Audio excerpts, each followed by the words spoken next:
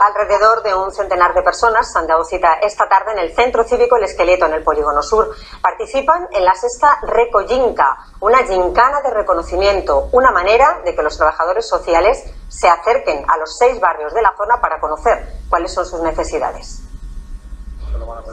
Sus promotores quieren que esta Recoyinca rompa los prejuicios de aquellos que acaban de incorporarse a trabajar en la zona de la mano de diferentes entidades sociales. Se hace un tratamiento un tanto amarillo o, o simple, estereotipado de un barrio que realmente tiene diversidad, tiene heterogeneidad, tiene algunos problemas concretos, algunos se mejoran, otros continúan.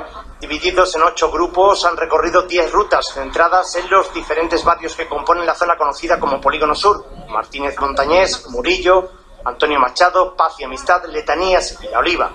Hay algunas cosas malas que es cierto que existen, pero hay mucho más que eso, porque el barrio no es tan pequeño como lo que señala algunas veces por televisión. Yo he estado por aquí a las 5 de la mañana y como si estuviese en mi calle de Mérida. No pasa absolutamente nada porque aquí la gente hasta ahora está durmiendo como todo el mundo. Han presentado a estos activistas lugares de interés como centros de salud, polideportivos, asociaciones vecinales, templos o plazoletas. El asentismo escolar de este barrio, cuando empezó el plan integral, era del 50%. O sea, uno de cada dos niños de este barrio no iba a la escuela con regularidad. Ahora estamos en el 12 y solo han pasado ocho años. Personas que viven en el barrio se han ofrecido de forma voluntaria para explicar a los visitantes sus vivencias.